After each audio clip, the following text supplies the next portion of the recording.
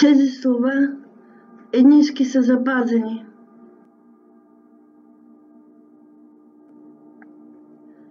Лесно е да си представим какви богатства са се криели във всичките посветителни слова на апостола, когато те са били на брой 17.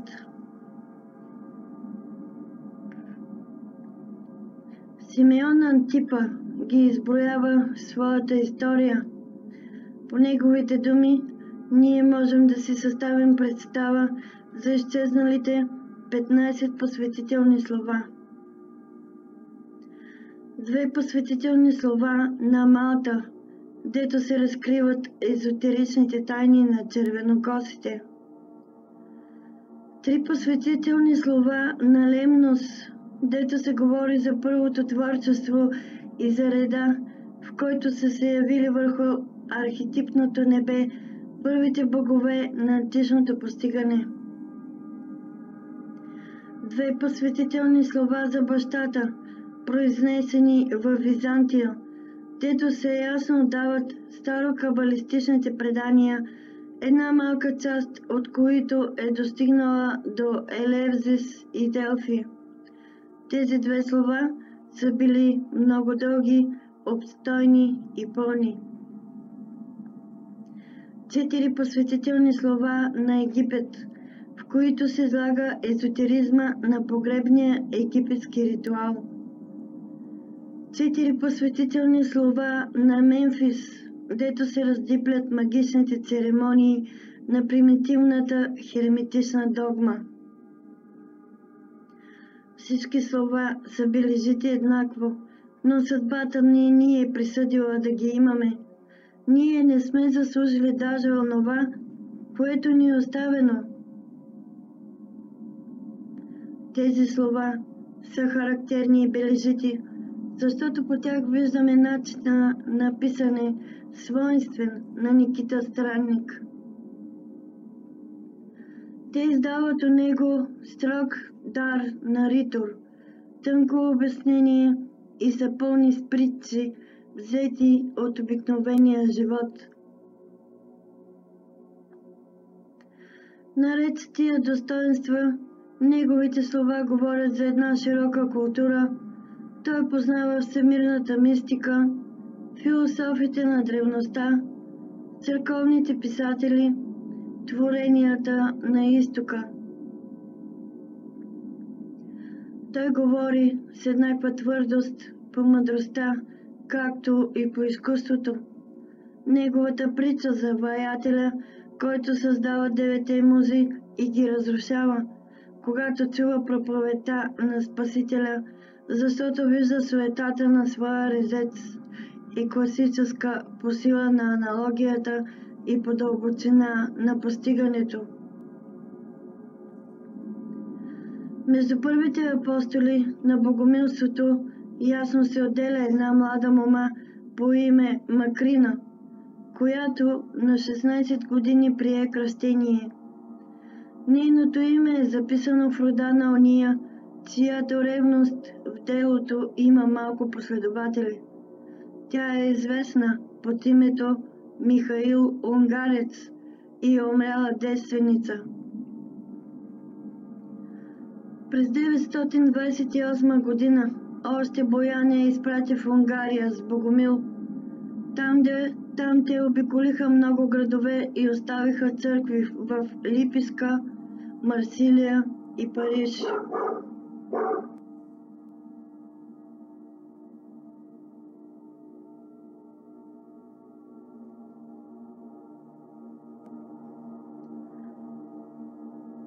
На седмия месец Богомил се върна, а Михаил Унгарец остана там, заед с уреждане на унгарските църкви.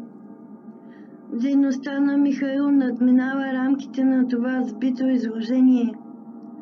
Неговите похвати на работа, влияние и въздействие са многобройни. Делата и заслугите му надхвърлят границите на всеки животопис – а книгите му могат само да се изброят. Той е писал много. В Малта се пазят по няколко екземпляра от неговите книги, подвързани с желязо и кожа. За своите двама презвитери Олиписка той написва 225 листа, съставящи книга на означенията, дето излага развитието на древната глифика, като дели паралел между богомилските ключове на Таро и старите свещени начертания на червената земя. Тази книга е несравнима по великолепие и синтез и по дълбоко разучаване на символистичния език.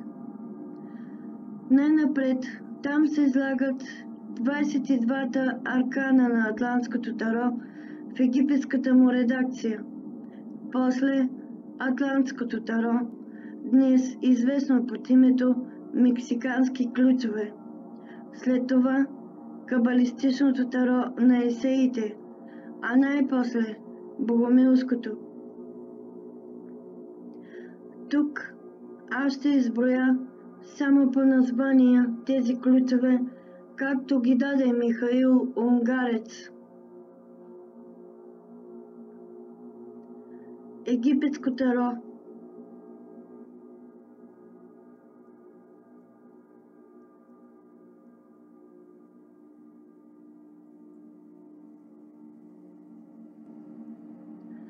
Робът Прав човек Едната ръка нагоре, другата надолу. Ходящо положение с престилка до коленете. Аскетът. Ходящ профил. Двете ръце вдигнати молитвено. Стакана дреха, очертаваща формите. Милостивецът. Обърнат профил. Ходящ. С престилка раздаващ плодовете на тайното учение. Смиреният, отпуснати ръце. Проповедникът, профил, вдигнати от двете страни ръце, стакана дреха. Отстъпникът, ръце, вдигнати за тялото с шапчица дворянинът. Ръцете като в първи ключ, краката обути в обуща, такани над коленете. Прободеният амфас, човек с отпуснати ръце, разделени крака, цяло издъбцен, с отпуснат фалос. Играцът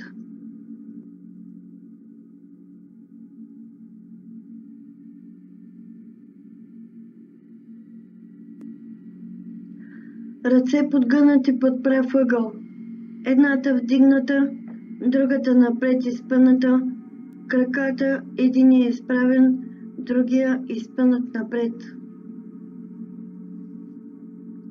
Писачът Широко тяло, ръце подгънати назад с шапчица. Мъжът изправен с шапчица, с една отпусната и с една напред подгъната ръка с оплодяващ фалос. Близнаците.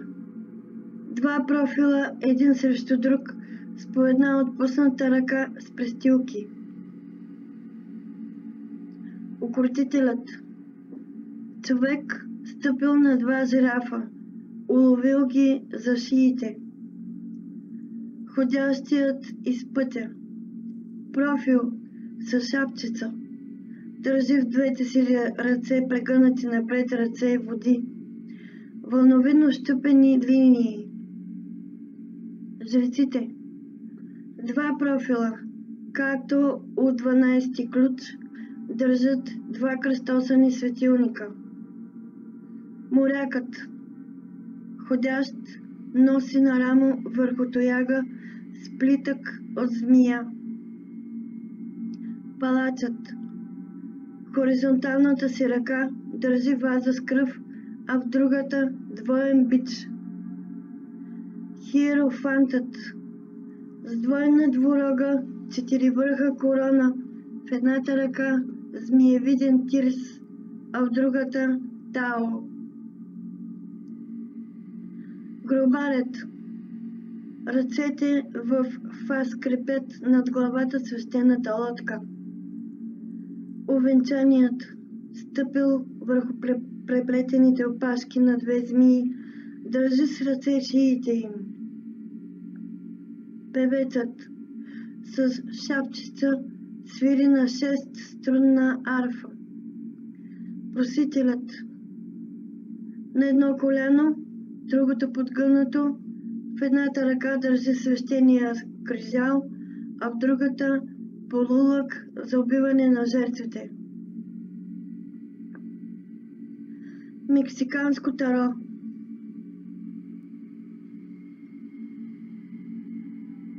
Южният кръст. Съзвездието. Четири муми и три корони с двоен звезден пояс. Кетцал Птица със звездна опашка, разперени криле, носи в уста хляб, а в краката си държи дете. Агу, аг, хуек, хуетл, дървото на живота, с небесния мъж и небесната жена, с изумрудено перест змей под ствола. Витули подхли, с меч мъния и чук в ръка. Опияненият Кецъл Куатл седи в съзърцание под една ахана.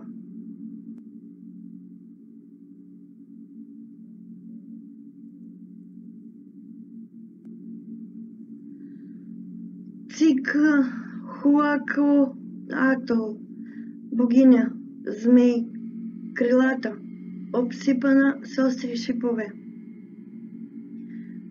Тецка Тлипока. Бог с голяма глава, в тренчен поглед, държи топос и отсечена, скалпирана глава. Змеят Кецал Куатл. Кръстовиден, разперен змей. Усо Масинта. Весната река с черна и бяла вода. Тлапа Алан. Червена земя четиривърха пирамида. Колибри на конче звъни вода под него. Велико дело. Орел върху кактус разкъсва змия. Коатъл куе, жената с змийска дреха. Тоца, кат, тоца кате кутли, властник на битието с меч, килим и скиптър. Тетл, бог на началото с жица, чук и арбахан. Ксочи Квестцал, изумрудената розовидна дева, с и открит ктеис. Прокаженият, върху памтящ костер, отгоре слънце. Дървото на Контесума – Царят гол седи по дървото и вие венец. Венецът. Гирлянда от акрас с будили, носена от три моми с червено, жълто и черно лице. Стъблото. Хокота, разперена широко, с надписан камък под нея. Приселецът. Вотан с корона от червени пера и пламъкови езици. Краят. Море, по вълните трима души плуват. Виждат се само три глави. Старец, младеж и момиче. Есенианско таро. Единият човек с една ръка нагоре, другата надолу. Отляво теле, отдясно слон устата, къща, на мястото на вратата, човешка уста. Вземащата ръка, ръка взема свитък от гърба на Камило. Гърдите. женски гърди над една затворена врата с два стълба. Дишането. Двоен клон с цвят, зад него хралупа, от която излизат изпарения. Око и ухо. Око и ухо съединени, чрез остър гвоздей, който ги пробива. Стрела. Меч, кожен щит и стрела. Нива. Разорана нива и в нея четири стена сграда с пламъци, излизащи от нея. Подслон. Стреха на шатър и под нея свита змия с разтворена уста. Показалец. Разтворена ръка с изправен показалец и петно от кръв във вид на жаба. Стисната ръка. Юмрук с две ленти, образуващи плетка. Разперена ръка. Женска отроба, отразена върху застояла вода. Плодът. Плат със седем зърна и върху вейката спита двуглава змия. Змия.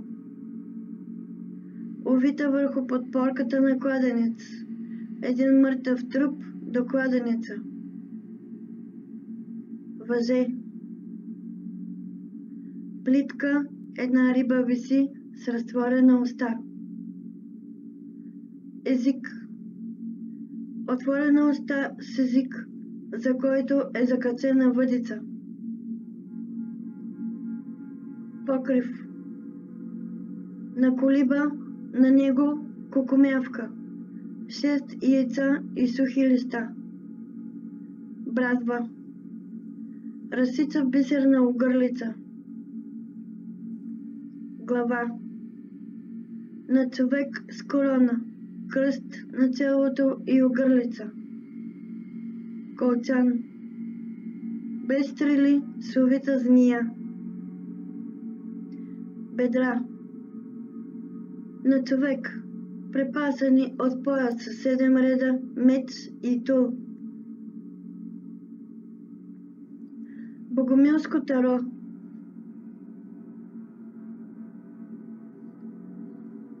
Меч.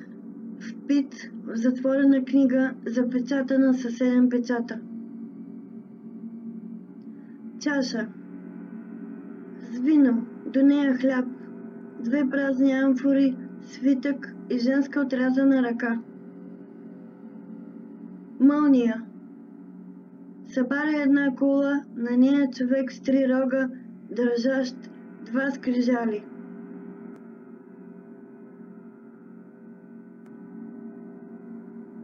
Везни. Четиристранен храм с везни на купола, ограден с ров, лоза край вратите. Ръка. Разгъната с пет рани на дланта. Раните змии. На пръстите пръстени. Печат. Лилия. Бяла драперия и двама младоженци с венци. Тайна. Затворена врата, кипари си, змей пази вратата, двама отиват към нея с ключове в ръка. Мома. Свенец от слънчогледи, държи пентакъл и две разтворени книги. Сатанаил. С три зърна в ръка, с чаша и мълния из нея. Ров.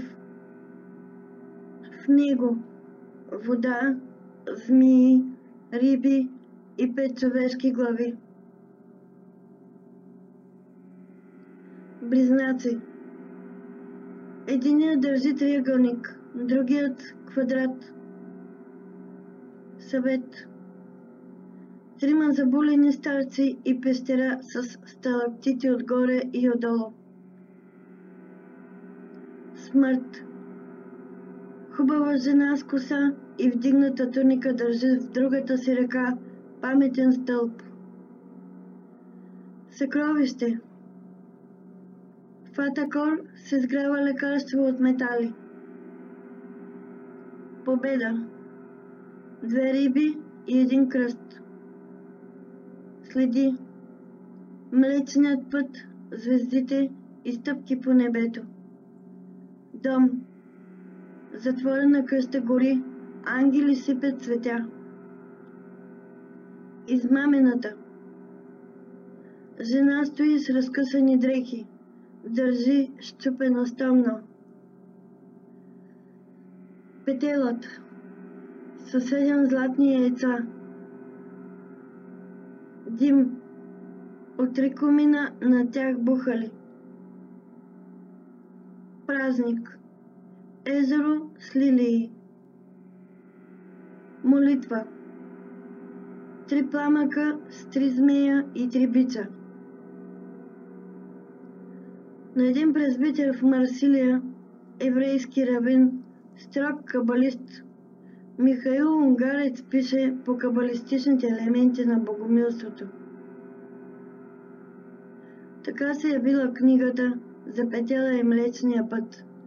130 листа голям пергамент, където епископът анализира кабалата в нейните начала и разкрива паралелно онези елементи, които са дадени в езотеричната версия на Три небеса. Запазени са също там и четири големи книги, подвързани заедно под общото заглавие за Тирса и Баграницата, където намираме параболи, разкриващи седемте пътя на богомилското посвещение. От друга една книга за старица на планината – намираме онези дълбоки истини, които ясно ни разбуват пътищата, свързващи Атлантис с богомилството, законите и речите на Вотана, наречен Старица на планината. Рязко се чертаят уния думи, които Боян отправил към своите вътрешни ученици. От значение са и двете посветителни легенди, писани стройна, размерна реч. Змията на дървото и конете на Елиас.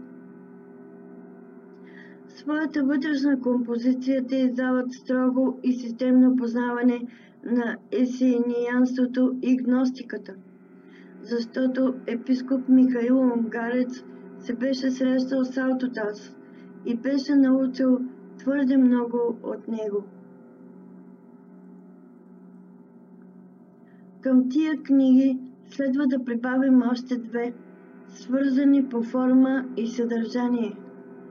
Одежди на сиянието и за небесната жена, където в кратки глави, напомнящи Салустия Христа, трактува един и същ въпрос – очистването на духа чрез самооплодяване.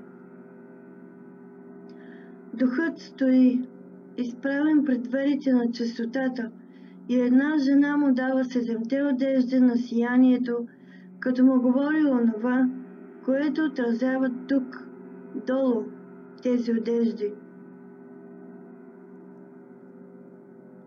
Съдържанието на тези книги е построено върху една мисъл, позната на окултистите от всички времена.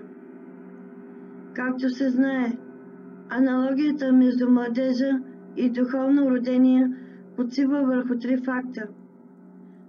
Първо, една жена трябва да пробуди към озряване младежа, а един учител да разбуди тайната сила у второ родение.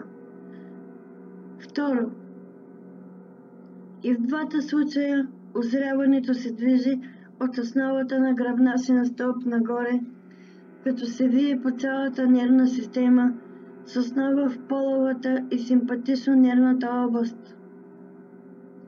Трето.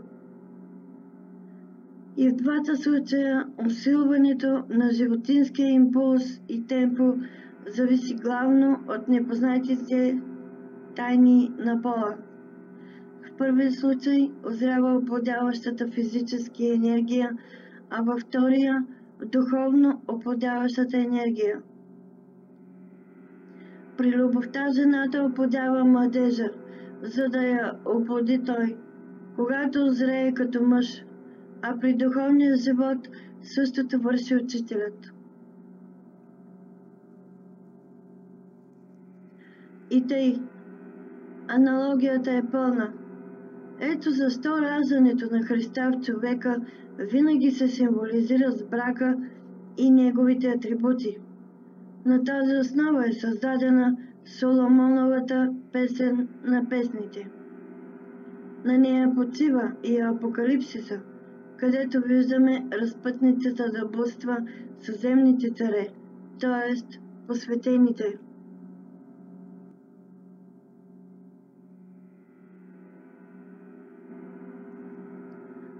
Защото полът води към блуд, а разкриването на тайната към проклятие. На същата основа е изградена и двойната парабола у Михаил Унгарец. Стилът на двете книги е стегнат, силен и издържан. Оригиналите са били изгорени, понеже книгата е била търсена като порнографическа, намерена и изгорена. В Малта се пазят само три, пеп... само три преписа от нея. Единият, който принадлежи на Симеон Антипа, минава за единственото верно копие. То е украсено с заглавки от споменатия преписвач с 13 миниатюри, изобразяващи небесната жена, работени с сепия, киновър и охра. Тези миниатюри – гризливо и тънко писани, имат висока цена като пентакли, а не само като обяснения. Там виждаме небесната жена чертозите на слънцето, а после, нощ след нощ, под балдахина на 12-те царе на зодиака. Тя празнува своите брачни нощи с всеки го от тях поред и редят се подробно начертаните атрибути на тези 12 царе. Заедно с основната линия на езотеричната легенда, ние виждаме умело разказаните от миниатюриста всички мистични и магични подробности на великото дело Всемира, но онова, което се нарича брак на Слънцето и Луната и което в мистериите на Изис се нарича шествието с сребърната лодка.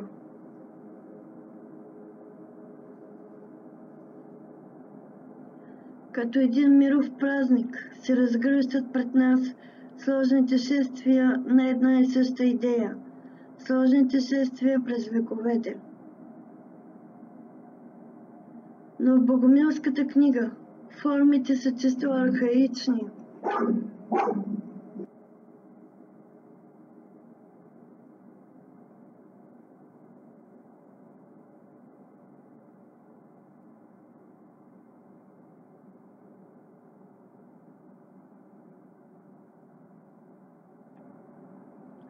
Прощавайте за кучето.